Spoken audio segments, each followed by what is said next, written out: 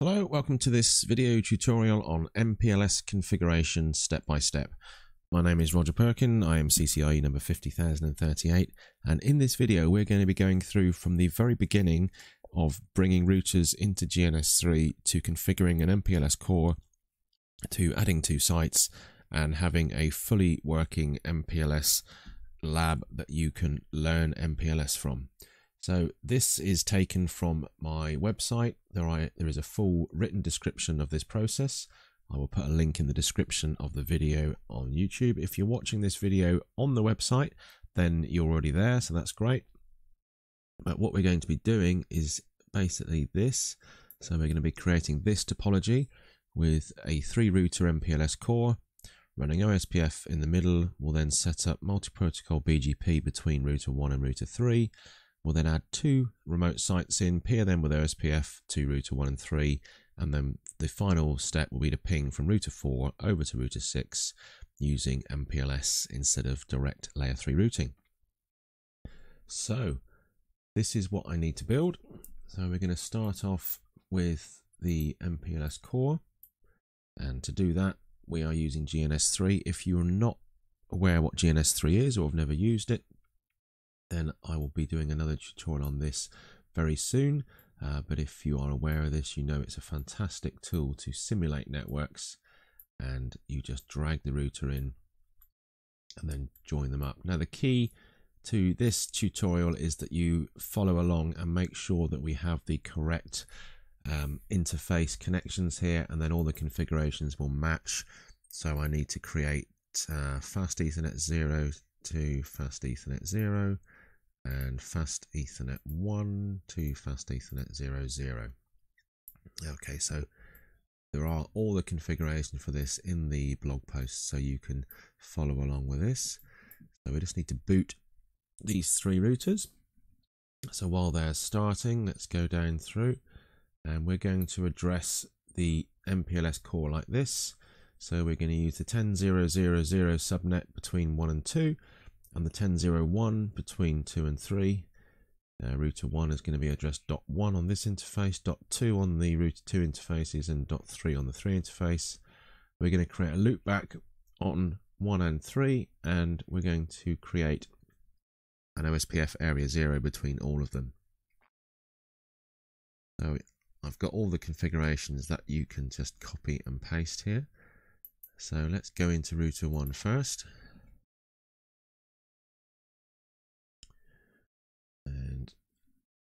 That up. See, router 1 is here. So I'm ready on router 1. Now I've got a script on my GNS3 that router 1 comes up as router 1. So this configuration is going to be redundant, but we are just going to pop this on here. So conf t to configure the router and we're going to paste on these three lines hostname router 1 a loopback interface and IP OSPF area 1 for the loopback 1 and then we've got interface F00 that can go on. And then we've also got interface F00 and we're giving that the address of 10001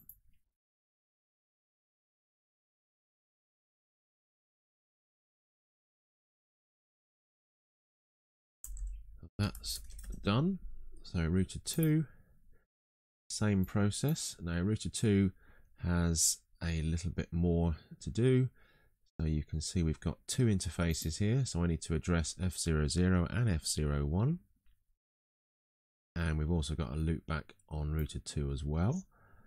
And that is address 2222. And then all the interfaces are in OSPF. So we should have full reachability from every router. So let's jump into router 2 now. conf t, we'll paste that configuration in. So I've put on a loopback with 222 and the interface F00 which is facing back to router 1 is going to be 10002 and you can already see that we have an OSPF adjacency come up between uh, router 2 and router 1. So that's great. And then the final configuration is router 3 where we give that one a loopback of 333 and we're just going to address this F00 interface.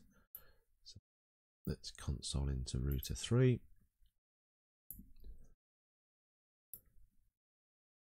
Router 3 comes up.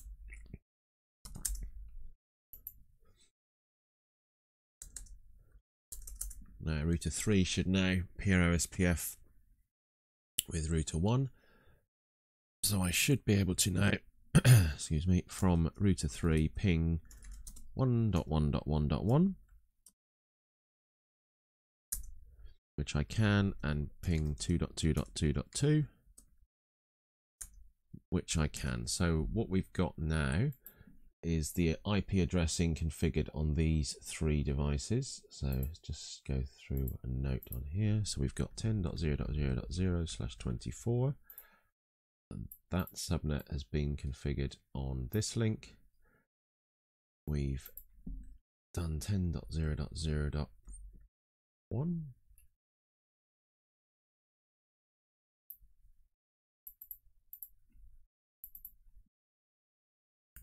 that one has been configured on this link. Router 1 has got a dot 1 on this interface. Router 2 has got a dot 2 on both of its interfaces here. And both of these. And router 3, we put a dot 3. This is you can address these whatever you like. But now, from the current state of this network, I've got a loopback address on router 1, which is 1111, and I've got a loopback on 2, which is 2222, and a loopback on 3 is 3333. Now, this will become more useful as we progress, but just as a test here, we can now see if I go from router 3 I have full reachability between router 3 loopback and routers 1's loopback and that's because I've got OSPF so I've got an OSPF neighbor of router 2 and then go into router 2 and if we do show IP OSPF neighbor on router 2 we've got two neighbors 3 and 1 so that is stage one complete. So we should have full IP connectivity between router 1, 2 and 3 and there are some more verifications in the blog post there. So the second step, we need to enable MPLS. So at each interface that is facing into the network, we need to enable MPLS. Now, there are two ways of doing this, and we're going to do this under OSPF.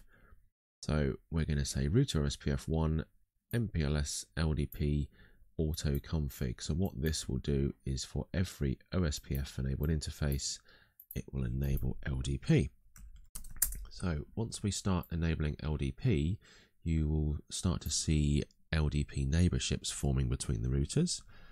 So let's go on to router 1 and just paste that command, OSPF1 MPLS LDP auto config and the same on router 2 so nothing happens at the moment but now when we put the auto config on here we go. So we've now got a neighbor uh, we've got a neighbor with 1.1.1.1 and same on router 3 so this is the first step to enable MPLS and it's enabling the routing the LDP protocol on the interfaces so that's that done, and you'll see this is all listed in the blog here. The log messages come up showing LDP neighbors. And then to verify the MPLS interfaces, the command is very simple. We just type on each router show MPLS interface. Now this will tell me that I've got fast Ethernet 00 enabled for MPLS. And on this one, show MPLS interface. So we are in a good position. And you can also verify the LDP neighbors with show MPLS LDP neighbor. So let's do that one. Show MPLS LDP neighbor. and we should have two, which is router one and router three. So we are progressing now. And the final thing is we can uh, confirm LDP is running by doing a trace. So if we do a trace from router 1 to router 3, trace 3.3.3.3, you will see that the routers now are not um, doing direct routing straight through. They are actually adding labels onto this. Now, this is a bit deep to go into this on the first step, but just to be aware that we are now starting to add label information to the IP packets that are going across. So, next step is to configure multi-protocol BGP between routers 1 and 3. So, let's just have a look on the diagram. What we're going to do is we've now got full layer 3 routing between all of these devices and all of the interfaces. What we need to do now is we're going to on here enable multi-protocol BGP that's multi-protocol BGP between router 1 and router 3. So this is in effect creating a tunnel, uh, which is what we're going to be doing eventually, between these two. Um, so your MPLS core could actually be multiple routers. Um, in our example, we've just got one, but this could be a service provider's network. It could be vast. And what you're trying to do is create these BGP multi-protocol connections between the end devices. So let's go into the config and see what we need to do. So on router 1, we are going to say router BGP1, uh, neighbor 3333, that's fine. And then we're going to go into the address family of VPN v4, which is where the MPLS is going to really kick in. And we're going to say neighbor 333 activate. So let's just do that one on router 1.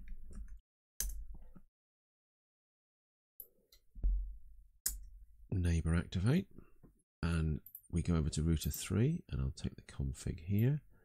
And once this one goes on router 3, we should see uh, this BGP neighbor come up.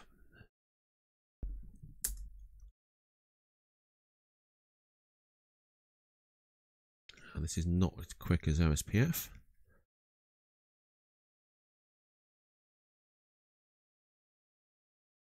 And if we go down to here, you should see a log message.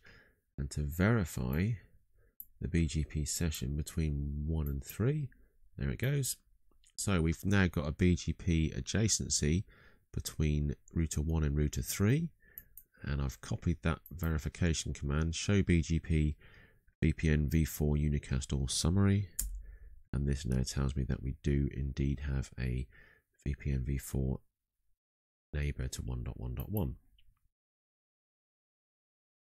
Now, the next step is to add two more routers to the topology, router 4 and router 6. So we're going to uh, drop them in. Don't ask me what happened to router 5. Router 4 and we'll pop router 6 over here. So that's going to be 5. I'm going to put 6 in. This is going to be the easiest way to do that.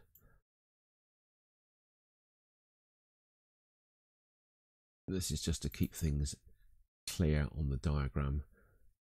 And we're going to connect F00 to F01. And on this side, F01 again to F00. Right. These are going to be our customer sites here. Start those devices as well. Let's go down through here. So router 4 is going to peer OSPF using process number 2 to a VRF configured on router 1. So what we're going to do on router 1 is configure a VRF, which is a virtual routing and forwarding instance, so like a separate routing table within router 1. So this is how you can have this router 1 be on a customer site and you can have multiple routing tables in here with the same IP routing but on the same subnets but for different customers. and they're all separated in virtual routing tables. So let's jump into router 4 now. All I'm doing here is just copying the config. And if you're not sure of what's going on, just go back through the blog post. You can reference each step one at a time. So we've just now given the router 4 a 192.168.1.4 address. We've given it a loopback and we've added it into OSPF process 2, into area 2, and then on router 1, I'm just going to give this one an IP address.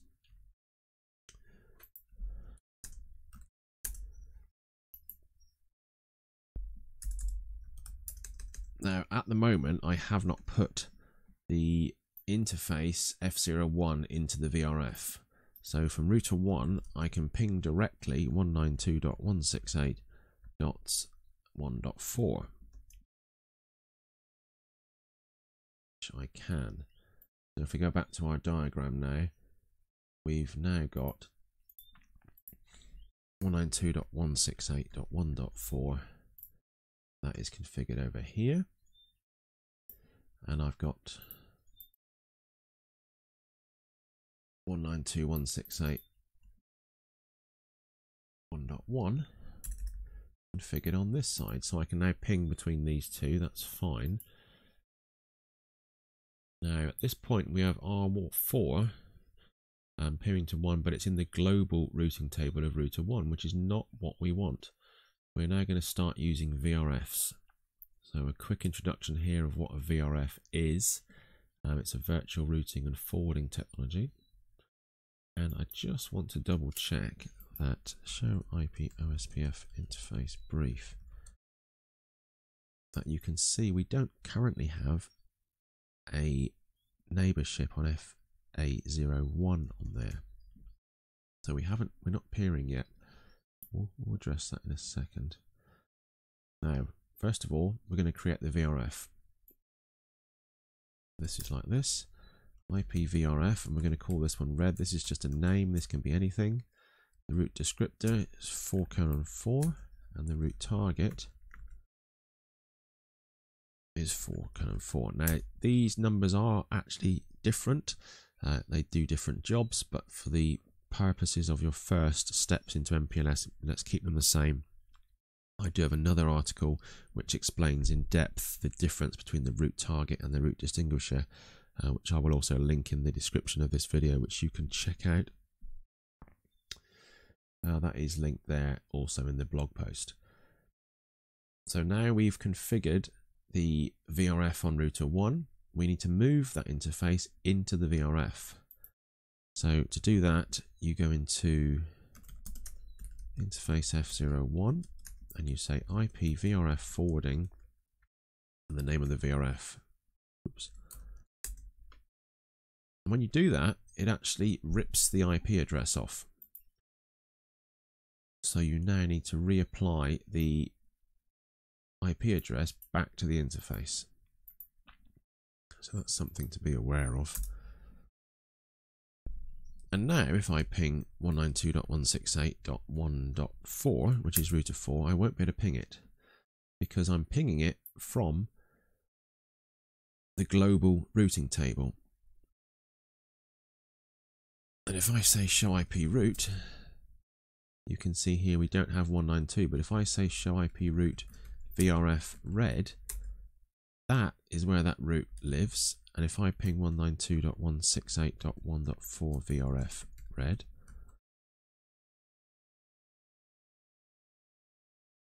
sorry, ping VRF red 192.168.1.4, now you can ping it. So you're pinging it from the virtual routing table.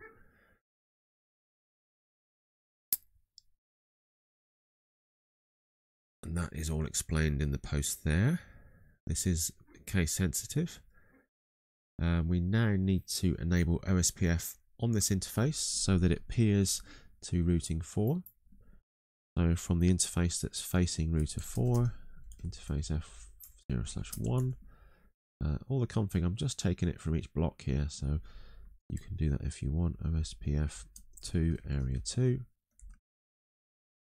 So now we've got a neighborship on router 1 but within the VRF. So again, I've got a loopback on router 4 of 4444, but if I say show IP route, we do not see 4444 in there, but if you say show IP route VRF red, this is where you will see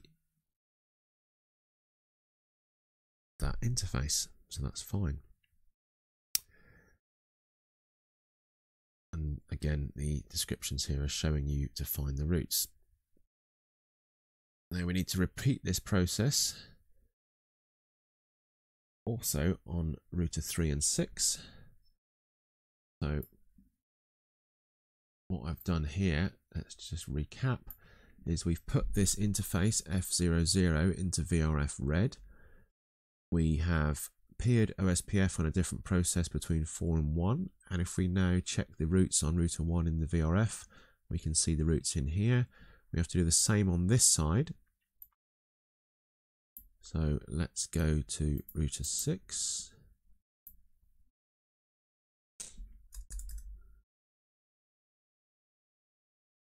so that one hasn't got any addressing or anything at the moment so we can take all the address details here and place that on there. And we go into router 3 and just address the interface that's facing out to router 6.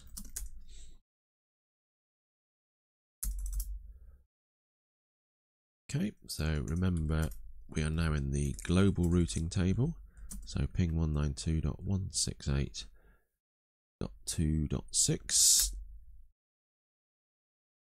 That comes back, but that's currently in the global routing table. We need to create the VRF. Now this needs to match on 3 as it did on 1. And then we add the interface on router 3 into the VRF.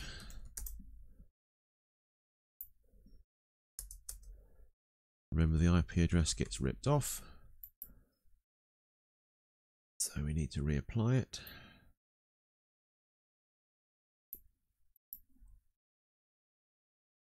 We put the IP address back on again.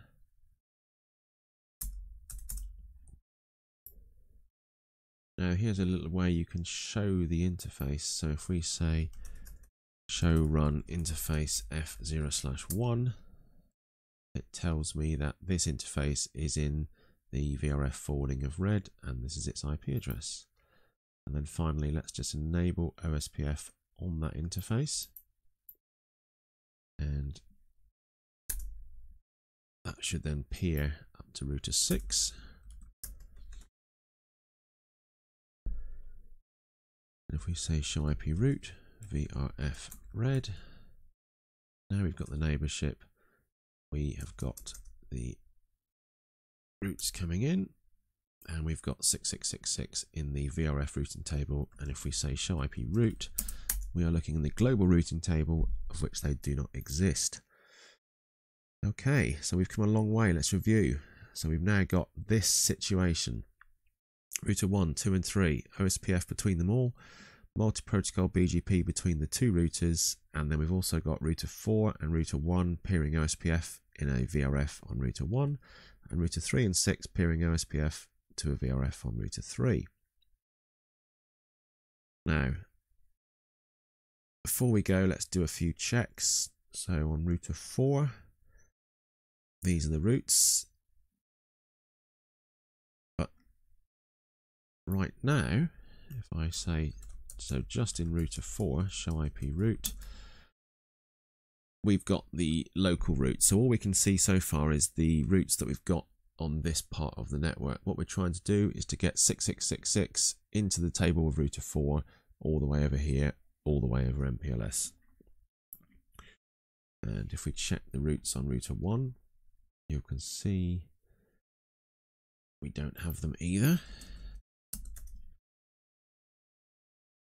And it's all explained in here. Remember, we have a, a VRF configured on this router, so this command will show the routes in the global routing table, and will not show the routes that are on the external sites here. But if we do show IP route VRF, then you will see that. Now we need to do the following. Redistribute OSPF into multi-protocol BGP on router 1. So here, redistribute multi-protocol BGP into OSPF on router 1 and then the same on router 3. So we're going to basically take the OSPF routes that we have here and put them into multi-protocol BGP and then we're going to take the routes that we get from multi-protocol BGP and put them into OSPF and the same on 3. Sounds quite complicated but all we're doing is saying I want to put the OSPF routes into multi-protocol BGP and the multi-protocol routes into OSPF. So router 1 first. Router BGP1, address family IPv4, redistribute OSPF2. Same on router 3, router BGP1,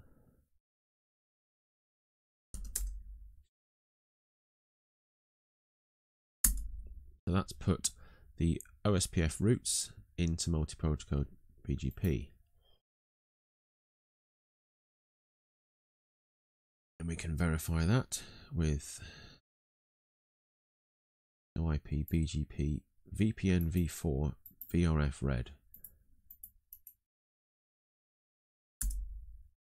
So we've now got 4444 and we are seeing 6666. So we're getting that route now over from router 6.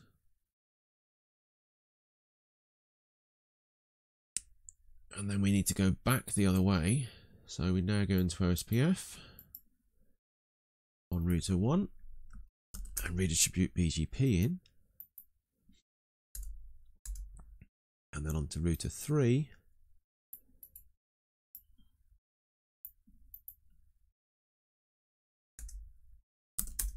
and redistribute that one in.